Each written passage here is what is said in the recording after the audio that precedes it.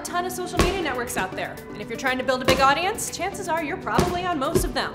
Facebook, Instagram, LinkedIn, Pinterest, Etsy, Twitter.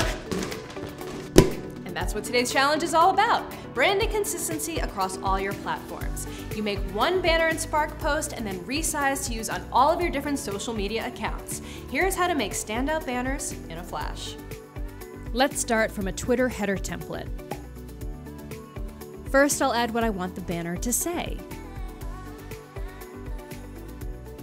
Adjust the size by dragging the edges. Use the right panel to make edits to the text.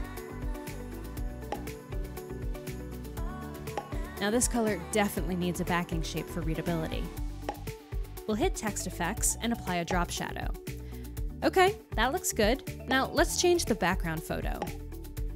I'll hit replace and search through Spark's free photo library. This one's cool. Now we'll just make some minor adjustments to the photo, like adjusting the scale and position. All right, we're getting there. Let's make some adjustments to the text so it's interacting with the photo a little bit more. Now, let's add our logo in just a couple clicks.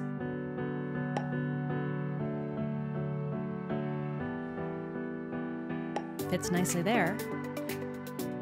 All right, I'll hit download.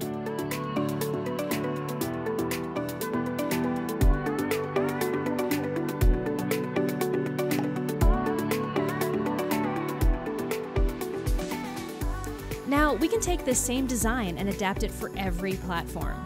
Just duplicate the project and rename it.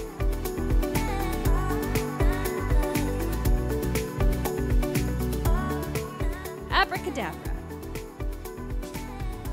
I'm Veronica Belmont, your branding coach, and I'll see you next time for another Spark Creative Fitness Challenge.